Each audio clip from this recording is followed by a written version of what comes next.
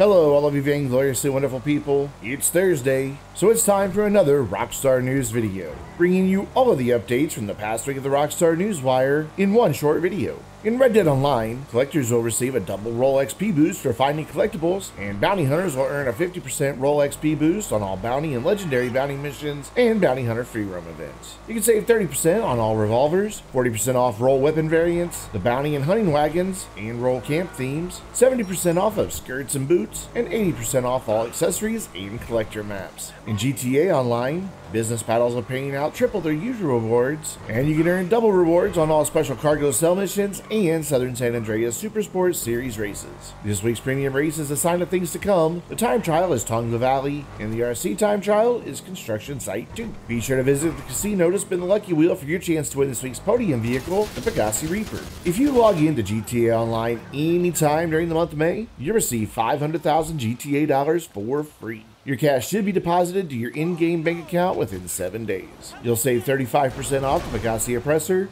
40% off of all laser weapons, the B-11 Strike Force, and nightclubs, and 60% off the Declasse Hot Ring Saber. Twitch Prime members, you'll save 60% off the Declasse Drift Yosemite, and 80% off the Pfister 811. And you know what else you get with Twitch Prime? You get a free monthly Twitch subscription to any channel of your choice at no additional cost to you. You can find me at twitch.tv forward slash vainglorious gaming, where I stream a variety of games every Thursday, Friday, and Saturday evening at 7 p.m. Central Time. But even if you don't use your free Twitch Prime sub on my channel, be certain to use it for one of your other favorite streamers because you'll be putting a little cash in their pocket. And believe it or not, that's everything from the Newswire. So that's going to do it for this Rockstar News video.